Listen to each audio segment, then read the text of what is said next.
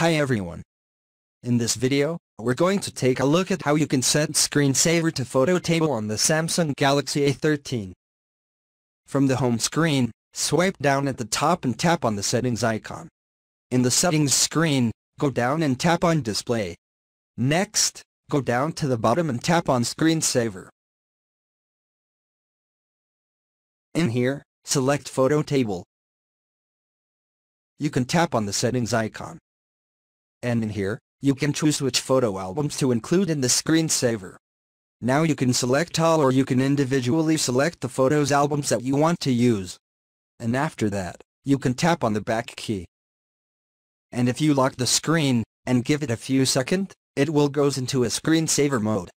Once it is on the lock screen shortly, it will shows the screensaver. Thank you for watching this video, please subscribe to my channel for more videos.